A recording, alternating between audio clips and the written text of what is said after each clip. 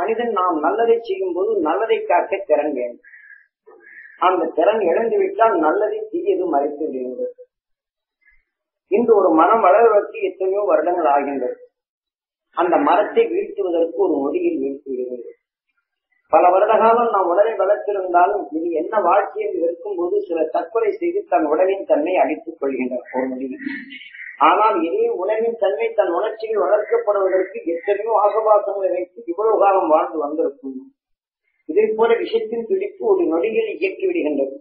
அத்தகைய விஷத்தின் தன்மையை வென்றவர்கள் தான் ஞானிகள். அத்தகைய நிலைகள் அனைத்தும் வென்று இந்த விஷத்தின் தன்மை ஆற்றலை தனக்கு அடிமைப்படுத்தி அந்த ஆற்றமிக்க சக்தியை தனக்கு ஒளியாக மாற்றினார். இன்று வைரம் தன்னிச்சையாக ஒளி கொடுக்கிறது என்றால்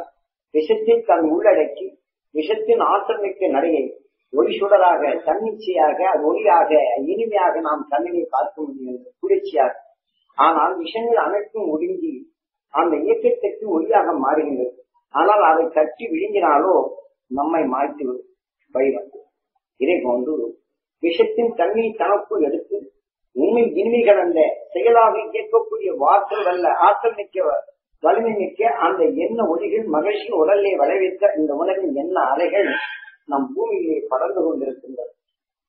அதை கவர்வதற்கு தான் இப்ப சற்று முன் உங்களுக்கு இந்த தியானத்தை பழக செய்து நாம் குழம்பு வைக்கும் போது காரம் பிடிப்பு இனிப்பு கவர்ப்பு அனைத்தும் நாம் கலந்து ஒரு சுவை மிக்கதாக சமைக்கின்றோம். இதே போல நாம் ஒவ்வொருவரும் ஒவ்வொரு வாழ்க்கையிலே நலிந்து மெலிந்து சலிப்பு வெடிப்பு வெறுப்பு உணர்வு வேதனை இதை போன்ற எண்ணங்களுடன் நாம் இங்கே வந்து ஆனால் அதே சமயம் நம் குரு காட்டிய வழிப்படி மெய் வழியை காண வேண்டும் மெய் அருளை பெற வேண்டும் என்று உணர்ச்சி தூண்டச் செய்து இந்த உணவின் எண்ணங்களை ஒரே தீப்படுத்தி பேச வைத்து இந்த உணவின் ஏக்கத்துடன் விண்ணை நோக்கி நாம் ஏகி அந்த உணவின் அலைகள் பெற வேண்டும் என்று அனைவரும் ஒன்று சேர்த்து நாம் இந்த தியானத்திற்கு நமக்கு சமமாக வெளியாகி மகிழ்ச்சிகளின் அருள் சக்தி இங்கு வருவோர் அனைவரும் தியானத்தில் இருப்போர் அனைவரும் பெற வேண்டும் என்று ஒருங்கிணைந்த எண்ணங்களுடன் ஒவ்வொரு ஒளிகளும் நமக்கு படரப்பும் போது உங்கள் ஒவ்வொருவரும் நாம் எண்ணத்தை துன்பத்தை தாங்கி இருந்தாலும் நாம் எடுத்த அந்த உணர்வுகளை ஒன்று சேர்த்து எந்த மகிழ்ச்சியை பெற வேண்டும் என்று எண்ணினமோ இந்த உணர்வின் அலைகள் நாம் ஒளி அலைகளுடன் ஈர்க்கப்பட்டு இந்த உணர்வின் சுவாசங்கள் உங்களுக்கு நீ சுரந்திருப்பதை இப்ப பார்த்திருக்கலாம் மகிழ்ச்சிகளின் அரிசக்தி தியானத்தில் அமர்ந்தவர்களுக்கு அனைவருக்கும் கிடைக்க வேண்டும். ஈஸ்வரா நீங்க ஏங்கி இந்த மூச்சலைகளை வெளியிடும் போது உங்களுக்கு உமிழ்நீராக சுரந்ததையும் பார்க்கலாம். இப்பேற்பட்ட அமிர்த சுரபிகள் நமக்குள் சேர்ந்து அந்த ஞானியின் அருவித்தை வளர்த்து நம்மை அறியாது உள் சென்று வேதனையை உருவாக்கும் பல நோய்களை உருவாக்கும் நம் சொல்லின் இறுதியை கெடுக்கும் இந்த உணவின் தன்மை தனிந்து